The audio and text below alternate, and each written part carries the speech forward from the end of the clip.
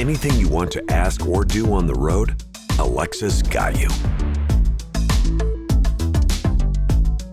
With Alexa built in, you can use voice commands to stream music, navigate to a new restaurant, make calls, connect to your smart home devices, and more, all on the go.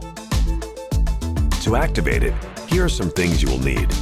An Amazon account, a select paid GMC connected services plan, and a properly equipped vehicle.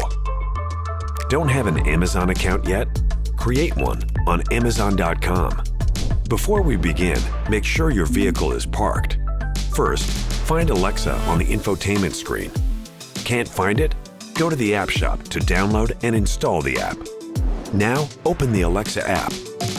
Follow the prompts, review the terms and conditions, and then tap Accept if you agree.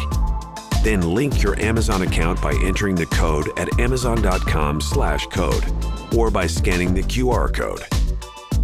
Once you're signed in, you can choose whether you want to wake up Alexa by pressing the push to talk button on the steering wheel or by tapping the on screen button. And Alexa is ready to go. Let's try it. Start by waking up Alexa. Just press and release the push to talk button or tap the Alexa icon on the infotainment screen depending on your settings. Alexa, call Morgan. Alexa, play my road trip playlist. Alexa, tune to 96.3 FM radio. Alexa, add brunch at 11 a.m. to my calendar. Alexa, turn on the porch lights. Now that Alexa's on board, it's like having an extra passenger, a helpful one.